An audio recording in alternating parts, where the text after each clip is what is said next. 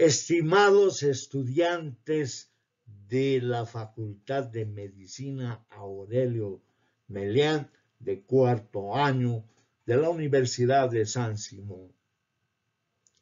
Quiero compartir con ustedes este foro debate de adenocarcinoma de páncreas. Se presenta el caso actual por sus dificultades de dos situaciones. La primera es que el cáncer de páncreas debe ser sospechado precisamente por lo difícil de su diagnóstico precoz y con mayor razón en gente joven, a pesar que la incidencia sea rara. Y la segunda razón es difundir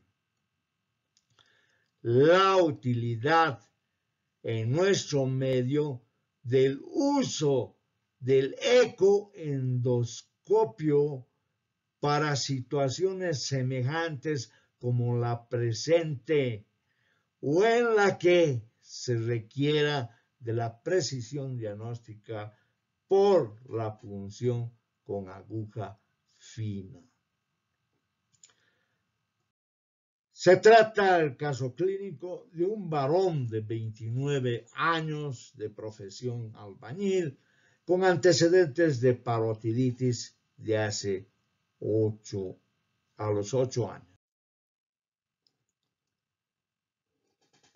Dentro de los estudios de imágenes se solicitó una tomografía espiral multicorte donde se evidenció una lesión tumoral que compromete la región postero inferior de la cabeza del páncreas de 3.3 centímetros de diámetro mayor adyacente a la arteria mesentérica superior sin llegar a ser comprometida.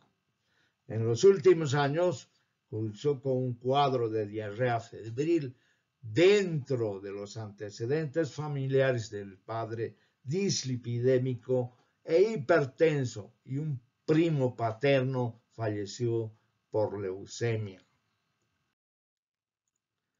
Aquí podemos observar una lesión tumoral en la cabeza de páncreas que mide 3.3 centímetros de diámetro, mayor de forma irregular. Se realizó la biopsia por punción con aguja fina y las imágenes que estamos viendo corresponden a un adenocarcinoma con núcleos hipercrómicos y células totalmente anaplásicas con estratificación y excrescencia. La discusión es sobre cuáles son los tipos histopatológicos del cáncer de páncreas y cómo hacemos su diagnóstico diferencial a través de inmunohistoquímica. ¿Qué marcadores son positivos para el cáncer de páncreas? Con esto terminamos el caso y quiero despedirme con muchas gracias por la atención prestada. Que Dios os bendiga y que nos proteja en esta pandemia mundial que parece ser ciencia ficción.